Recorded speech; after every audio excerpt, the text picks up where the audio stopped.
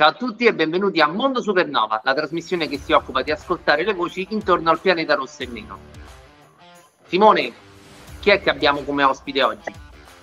Ciao Marco, un saluto a tutti i nostri affezionados all'interno di Mondo Supernova. Oggi super ospite Nicola Profumo, lui gioca con la Serie D alla Dispoli e però poi di fatto all'interno del mondo Supernova allena i più piccolini del mini basket a Maccarese e i più grandicelli nel settore giovanile a Fiumicino, sempre pronto a dare una mano ai nostri ragazzi in uh, palestra.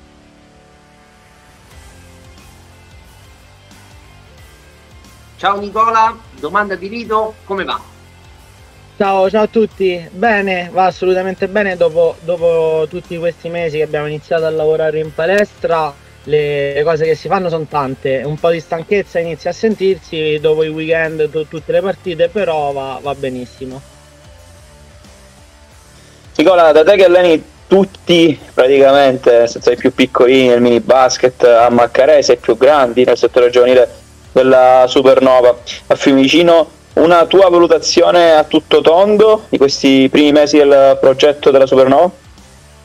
Allora, io venendo già da Maccarese dagli scorsi anni vedo che il, ehm, ehm l'asticella si è alzata tanto nel progetto. È sicuramente molto interessante e stimolante perché ti dà la possibilità di lavorare meglio in palestra con i ragazzi e ehm, di, di farli crescere e soprattutto in un ambiente sereno e pieno di possibilità che ha grandi obiettivi.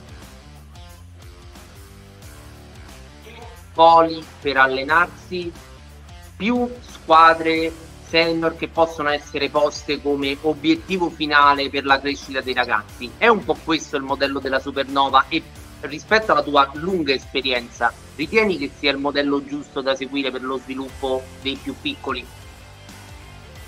Certo, certamente perché avendo più squadre senior, soprattutto che combattono ai vertici delle classifiche nei rispettivi campionati Serie B e Serie D, eh, è stimolante per tutti i ragazzi perché ogni giorno si allenano per migliorarsi e in un futuro arrivare loro a essere i protagonisti delle prime squadre e anche a noi allenatori porta ad alzare l'asticella perché dobbiamo migliorare le nostre potenzialità per portare i ragazzi sempre più avanti perché in un futuro saranno loro i giocatori delle nostre prime squadre.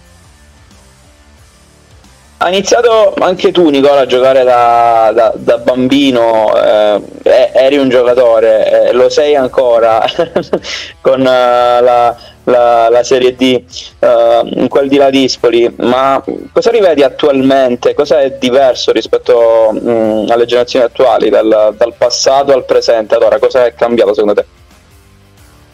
Allora, sicuramente un aspetto che ho notato di differente da, da quando ero piccolo io che ho iniziato eh, rispetto ai piccoli di ora, che quando ho iniziato io il, tutti gli allenamenti, il lavoro era strutturato molto sull'aspetto del gioco e del divertimento piuttosto che sugli aspetti tecnici, mentre ora, fin da piccoli, si pensa molto di più all'aspetto tecnico, certo divertendosi ovviamente, però si lavora molto di più sull'aspetto tecnico e fin da piccoli si lavora eh, sugli aspetti fondamentali del gioco e anche fisicamente perché le generazioni nuove rispetto a quelle passate sono cambiate soprattutto fisicamente.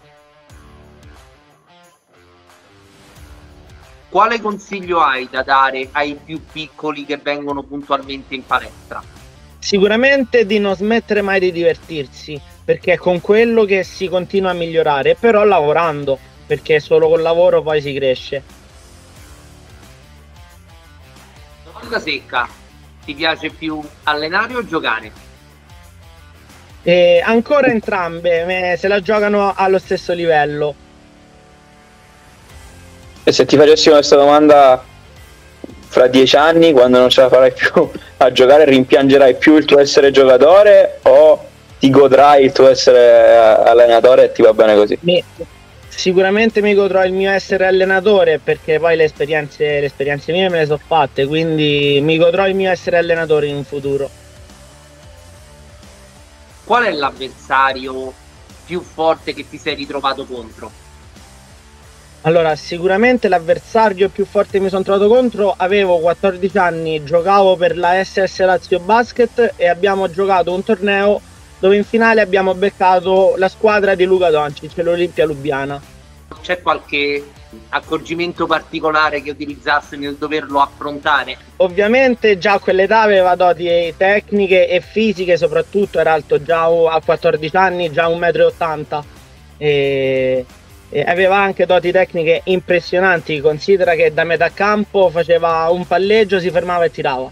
E su 10 tiri ha fatto 8 canestri in partita e noi avevamo preparato già la partita stando praticamente in due sempre su di lui però comunque ha fatto 40 punti.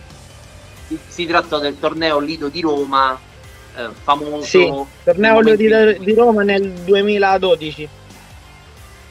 Quello che poi viene sempre citato nel momento in cui si parlò della prima manifestazione in cui Doncic brillò e fu quella in Italia prima del passaggio poi alle giovanili del sì. Real Madrid.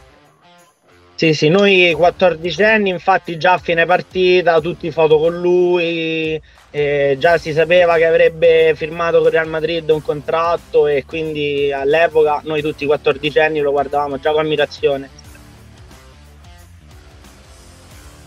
E allora, con questo aneddoto prezioso, ti ringraziamo e ti salutiamo Nicola. Grazie, grazie a voi e un saluto a tutta, tutta la famiglia Supernova. E con Simone ci ritroviamo alla prossima edizione di Mondo Supernova. Alla prossima!